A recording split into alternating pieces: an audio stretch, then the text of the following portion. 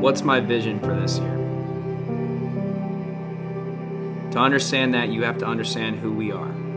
The Sarasota High football program has been playing on that same field for close to 100 years. To my knowledge, we are the longest standing athletic program in the city of Sarasota.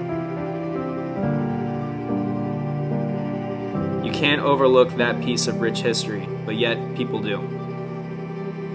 But that's going to change. My vision is not unique. Many have attempted to restore prestige to this program. What I want, what my goal and my challenge as head coach is, is to reconnect these current players and staff with our pride and our roots. Family is the key. These kids come from all different backgrounds, different economic classes, different family structure, but when they walk on our field, we are family. It isn't about us as individuals, it's about us as a whole. Forget about me, I love you is the way we define family. Love equals sacrifice, and sacrifice equals what you are willing to give up to achieve something that this Sailor family has never had.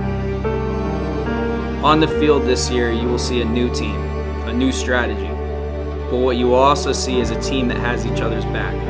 This team will play for each other, and this year, especially this year, we will play as a family. We may not see the road ahead through the storm right now, but I can tell you one thing. We will all be on that road together. This team is ready. We will leave nothing behind. We are the storm.